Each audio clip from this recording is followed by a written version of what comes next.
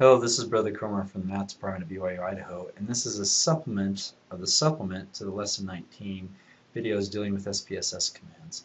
And this is another way to do, I'm just going to show you how to do bar charts in another way in SPSS, which is actually a lot more uh, cleaner. What I'm going to do first is I'm going to do data weight cases again for this data, because here's the data again where we have we have the two genders, male and female, and whether or not they can taste PTC, and then the counts, okay?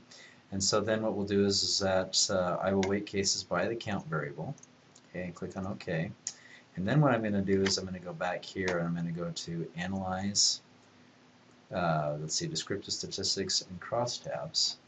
And then I'm going to put in my uh, gender variable in the rows box and the PTC variable in the columns box. The yes-no variable usually goes in the columns box.